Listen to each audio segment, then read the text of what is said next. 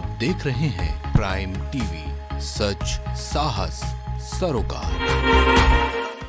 नमस्कार prime TV में आपका स्वागत है। मैं हूँ आपके साथ शिखा मेहरोत्र शुरुआत करते हैं इस बुलेटिन की। लखनऊ के सांसद एवं रक्षा मंत्री राजनाथ सिंह दो दिवसीय दौरे पर लखनऊ आ रहे हैं। इस दौरान राजनाथ सिंह रक्षा प्रौद्योगिकी प्रशिक्षण केंद्र और ब्रह्मोस मिसाइल निर्माण केंद्र के शिलान्यास कार्यक्रम में सम्मिलित तो होंगे।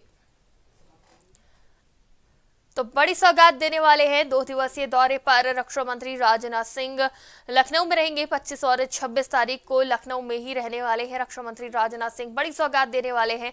आपको बता दें कि लखनऊ आ रहे हैं। इस दौरान रक्षा मंत्री राजनाथ सिंह प्रौद्योगिकी प्रशिक्षण केंद्र और ब्रह्मोस मिसाइल निर्माण केंद्र के शिलान्यास कार्यक्रम में भी सम्मिलित होंगे।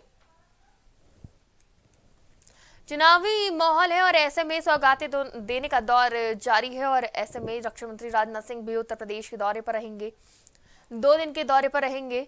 25 और 26 तारीख को लखनऊ में मौजूद रहेंगे और जनता को सौगात देंगे।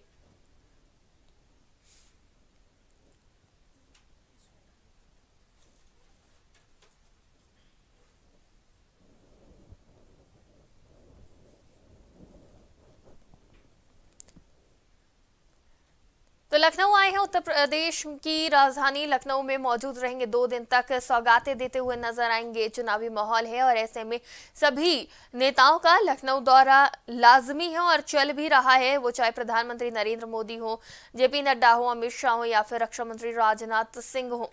तो लखनऊ के दो दिवसीय दौरे पर रहेंगे राजनाथ सिंह। जनता को सौगात देने वाले हैं उत्तर प्रदेश जब आएँगे रक्षा मंत्री तो प्रौद्योगिकी, प्रशिक्षण केंद्र और ब्रह्मोस मिसाइल निर्माण कार्य निर्माण केंद्र के शिलान्यास कार्यक्रम में शामिल होंगे, जिसके लिए तैयारियाँ भी पूरी हो चुकी हैं। और बड़ी सौगात है ये रक्षा मंत्री जो देने वाले हैं लखनऊ में। रक्षा मंत्री राजनाथ सिंह दो दिवसीय लखनऊ के दौरे पर रहेंगे, सभी तैयारियाँ कर ली गई हैं तो जनता के बीच मौजूद रहेंगे, जिस तरह से रक्षा क्षेत्र आगे बढ़ रहा है, देश काम कर रहा है, और उन सभी कामों को गिनाते हुए भी नज़र आएँगे। आत्मनिर्भर भारत बन रहा है, और रक्षा के क्षेत्र में जिस तरह से विकास हो रहा है, उन सभी को लेकर जनता के बीच संबोधित भी करेंगे। और इस खबर पर हमारे साथ ज़्यादा बातचीत के लिए संवाददाता विभांशु जुड़ चुके हैं। विभांशु, जब रक्षा मंत्री राजनाथ सिंह दो दिन के लिए लखनऊ के दौरे पर रहेंगे तो उनके क्या कुछ कार्यक्रम रहेंगे? जी आपको बता दें कि रक्षा मंत्री राजनाथ सिंह का ये लोकसभा क्षेत्र पड़ता है। और राजनाथ सिंह यही के सांसद है। देश के रक्षा मंत्री का यहाँ दो दिवसीय कार्यक्रम रखा गया है जिसमें वो जनता से मिलेंगे और कुछ परियोजनाओं की सौगात देंगे लखनऊ वासियों को। आपको बता दें कि स्मार्ट सिटी अगर देखा जाए तो राजनाथ सिंह बढ़ के इस परियोजना को लखनऊ के अंदर में इम्प्लीमेंट करते हुए दिखे दिखे हैं। और वहीं पे अगर बात करें तो राजनाथ सिंह कल आ, जब भी लखनऊ आते हैं लखनऊ का दौरा होता है तो वो क्षेत्र के भ्रमण में होते हैं अपने से जुड़े लोग और संगठन के लोगों से मिलते हैं। और आ, अगर बात की जाए तो आज लखनऊ में अटल जी के जन्मदिन के अवसर पे लैपटॉप और टैब दिए जा रहे हैं छात्रों को। उसमें भी जा सकते हैं राजनाथ सिंह। अभी कार्यक्रम तय नहीं है कोई खास लेकिन कल उनके कार्यक्रम ज़रूर लगेंगे। जी। तो कल क्या कुछ कार्यक्रम देखने को मिलेंगे रक्षा मंत्री के? जी, आपको बता दें कि कुछ अहम परियोजनाओं का यहाँ शिलान्यास कर सकते हैं राजनाथ सिंह। और डिफेंस से जुड़े कुछ ऐसी चीज़ें हैं जो यहाँ पे उसका उद्घाटन कर सकते हैं। जैसे कानपुर में उनके लोकसभा क्षेत्र के बाहर नज़दीक सबसे नजदीकी जो लोकसभा क्षेत्र कानपुर, वहाँ पे बुलेट बनाने की एक फैक्ट्री लगाई जा रही है। उसका भी शिलान्यास कर सकते हैं राजनाथ सिंह। जी बिल्कुल, बहुत बहुत शुक्रिया हमारे साथ जुड़ने के लिए और तमाम जानकारी के लिए। इस खबर पे हमारे साथ ज़्यादा बातचीत के लिए संवाददाता विभांश जुड़े थे।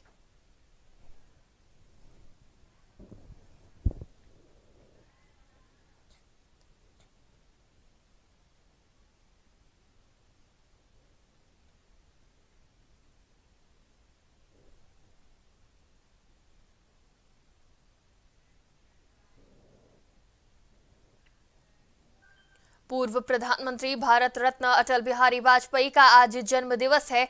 इस अवसर पर सूबे के मुखिया योगी आदित्यनाथ, उनके पैतृक गाँव बटेश्वर जाएँगे। इस दौरान सीएम योगी लगभग 11 योजनाओं का लोकार्पण शिलान्यास करेंगे, जिसमें सांस्कृतिक भवन का निर्माण, पार्क और लाइब्रेरी शामिल है, जिसके साथ ही सीएम जनसभा को संबोधित भी करेंगे।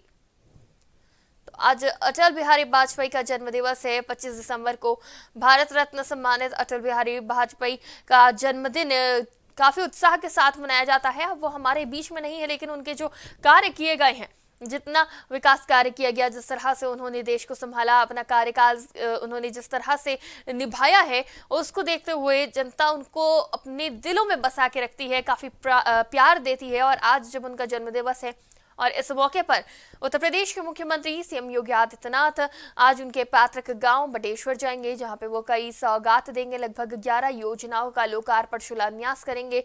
सांस्कृतिक भवन का निर्माण, पार्क और लाइब्रेरी भी इसमें शामिल है, जिसके साथ ही सीएम जनसभा को संबोधित करेंगे। अटल जी के कार्यकाल के बारे में बात कर सकते हैं, अपने सरकार के काम के बारे में भी बात कर सकते हैं। साथ ही जिस तरह से अटल जी का योगदान रहा है देश के लिए, उसको भी गिना सकते हैं। तो बटेश्वर जाएँगे, जहाँ पे तैयारी भी पूरी हो चुकी है। जनता को संबोधित भी करेंगे, जनसभा करेंगे, जहाँ पे काफ़ी लोगों की भीड़ भी देखने को मिलेगी। अटल बिहारी वाजपेयी के पात्र के गाँव बटेश्वर जाएँगे।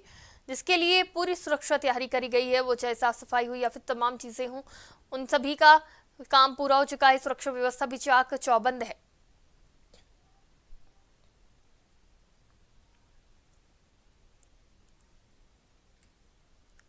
तो आज का दिन काफ़ी अहम भी है, खासतौर से बीजेपी के लिए, क्योंकि अटल बिहारी वाजपेयी का जो योगदान रहा है, जिस तरह से उनका पूरा जीवन बीता है, देश को समर्पित रहा है, उसको देखते हुए जनता के दिलों में राज करते हैं। और उनका जन्मदिन काफ़ी खास तरीके से आज सीएम योगी आदित्यनाथ मनाएँगे, उनके पैतृक गाँव जाएँगे, जहाँ पे कई सौगात देने वाले हैं, कई लोकार्पण शिलान्यास करेंगे। और इस खबर पे हमारे साथ ज़्यादा बातचीत के लिए संवाददाता ममता जुड़ चुकी हैं आगरा से। ममता, क्या कुछ तैयारियाँ की गई हैं आगरा में? सीएम योगी आदित्यनाथ के आने से पहले। जिस तरह सीएम योगी आदित्यनाथ सूबे के जो मुखिया हैं, उनका आज आगरा बटेश्वर में आगमन है। उसी को लेकर प्रशासन के प्रशासन पूरी तरह अलर्ट मोड पर हो गया, कल से। और उसी को लेकर के काफ़ी तैयारियाँ हैं, जो कि हेलीपैड को लेकर के बाकी जो सुरक्षा के इंतज़ाम है, वो सभी पूरे कर लिए गए हैं। जी। जी ग्यारह योजनाओं का लोकार्पण और शिलान्यास करेंगे। कौन कौन सी योजनाएँ हैं ये?